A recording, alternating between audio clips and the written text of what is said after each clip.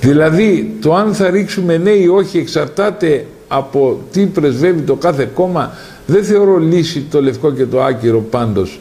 Είναι λάθος τακτική. Και τι θέλετε αγαπητέ μου, επανέλθετε εσείς, τι θέλετε να ψηφίσουμε; Εγώ φωνάζω ότι η λύση δεν βρίσκεται στα δανεικά, ούτε στα μνημόνια, ούτε στα προγράμματα, ούτε σε αυτά. Η λύση βρίσκεται στην οικειοθελή λιτότητα και περικοπή των παθογενειών και των προνομίων. Και στις μεταρρυθμίσεις. Αφού πιστεύω λοιπόν ότι η λύση είναι αλλού, θα πάω να ψηφίσω τις ηλικιότητες του Τσίπρα και τις ηλικιότητες του Σαμαρά. Με συγχωρείτε πολύ.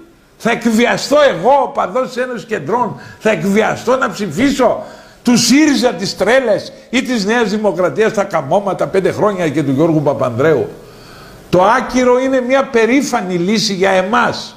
Για εμάς οι οποίοι πληρώνουμε την ύφη της κομματοκρατίας, της ασωτείας, του βαθέως κράτους.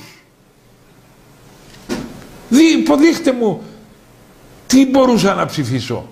Όχι. Να είμαι δίπλα στο Τζίπρα. Να ψηφίσω το ίδιο με το Τζίπρα. Ή να πω ναι στο Σαμαρά.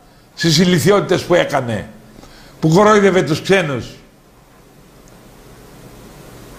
Που βούταγε τόσα λεφτά ε, ΜΚΟ. Γιατί και η ΜΚΟ τι είναι αμαρτία κομματική. Οι ιδιοκτήτες των ΜΚΟ είναι φίλοι του Σαμαρά, του Τσίπρα, όλων αυτών. Τι λέτε τώρα; Μπορεί ένας κεντρών που κομίζει πάνω της την επανάσταση και την αντίσταση να πάει να συμφιλειωθεί με τους οπαδούς του ναι ή με τους οπαδούς του όχι, σας πάει το χέρι, τότε δεν είστε ένας κεντρών. Δεν είστε ένας κεντρών τότε.